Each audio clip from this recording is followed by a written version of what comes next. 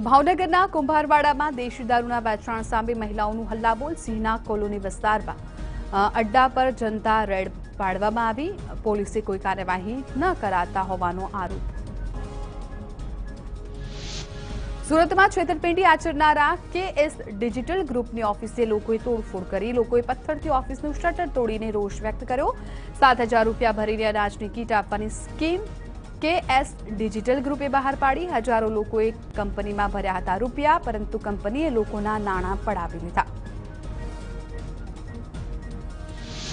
સુરતમાં ખાનગી ફાઇનાન્સરે ગોલ્ડ લોનના નામે આચરી છેતરપિંડી પોદાર આર્કેડમાં આવેલી ઓફિસમાં રોકાણકારોનો ઘેરાવો ફાઇનાન્સરે દાગીના અન્ય બેંકમાં ટ્રાન્સફર કરી દીધા હોવાનો અને બમણી રકમની માંગણી કરી હોવાનો આક્ષેપ સંચાલકોની ધરપકડ કરવા માંગ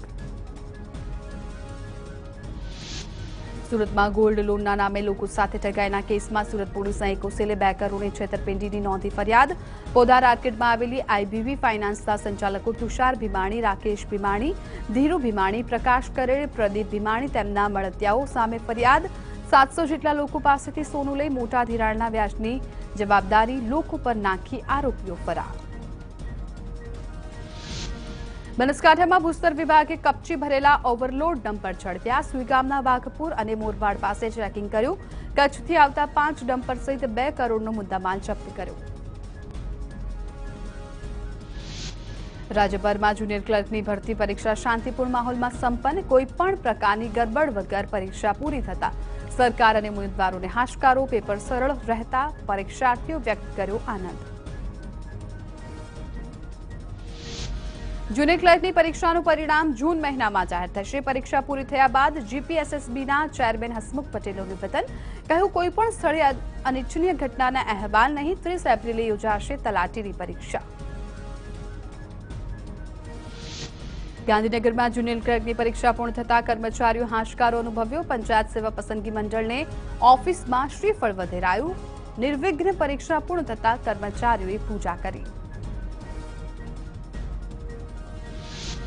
જુનિયર ક્લાર્કની પરીક્ષા શાંતિપૂર્ણ માહોલમાં પૂર્ણ થતા વિદ્યાર્થી નેતા યુવરાજસિંહે ટ્વીટ કર્યું ટ્વીટમાં લખ્યું આદરણીય હસમુખ પટેલ સાહેબે ખૂબ સુંદર અને સફળ આયોજન વ્યવસ્થા કરી સફળ આયોજન અંગે પાઠવી શુભેચ્છા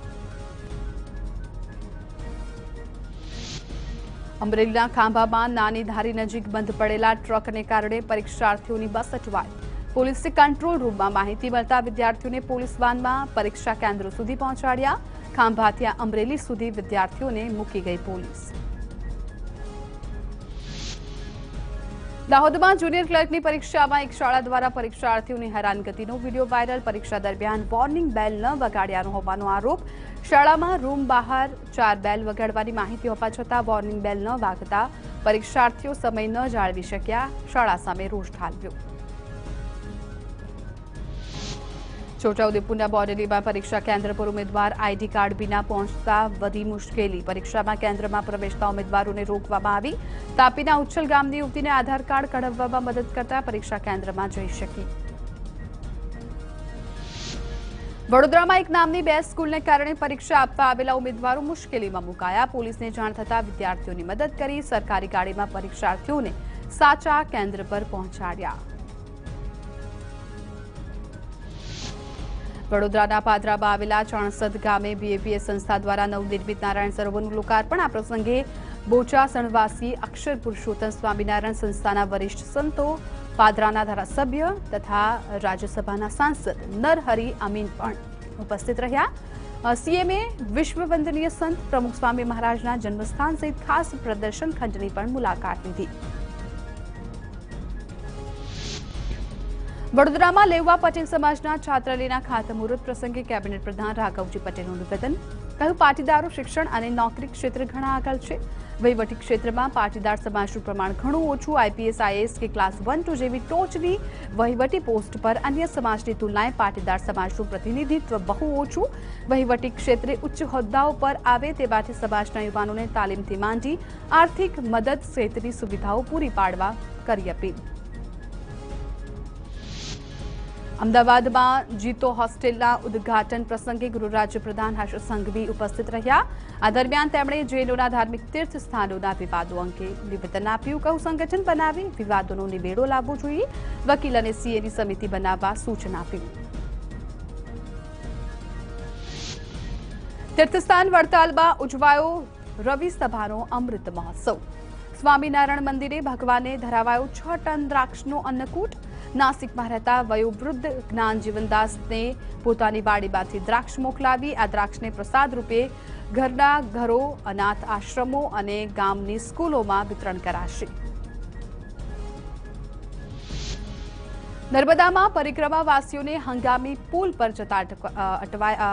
અટકાવાયા છે રોડ અને બિલ્ડિંગ વિભાગની મંજૂરી ન હોવાથી લોકોને જતા રોકવામાં આવ્યા પુલને લાગતી શરતોનું પાલન ન થાય ત્યાં સુધી જવાની પરવાનગી નહીં મળે પોલીસ જવાનોએ અટકાવતા પરિક્રમાવાસીઓને રોષ ઠાલવ્યો છે બોટ ઓછી હોવાથી ભીડ થતા સ્થાનિકોએ હંગામી પુલ બનાવ્યો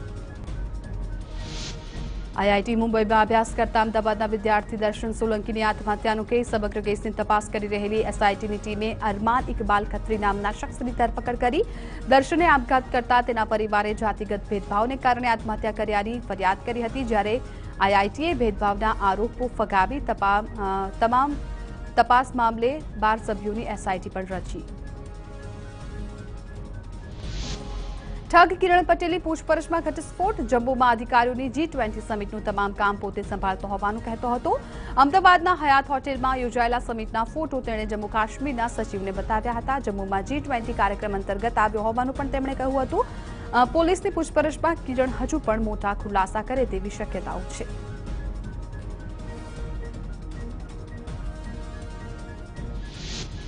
અમદાવાદમાં બુલેટ ટ્રેનના પિલર દુર્ઘટનામાં ઇજાગ્રસ્ત મહિલાના પતિના આક્ષેપ બનાવના સમયે કોઈ સિક્યુરિટી ગાર્ડ ન હોવાનો આરોપ ઘટના સ્થળે ટ્રાફિક કે લોકોને રોકવા માટે કોઈ પગલાં લેવાયા ન હતા બુલેટ ટ્રેનના પિલરના કામ સમયે સ્ટ્રક્ચર પડતા મહિલા નીચે દબાઈ ગઈ હતી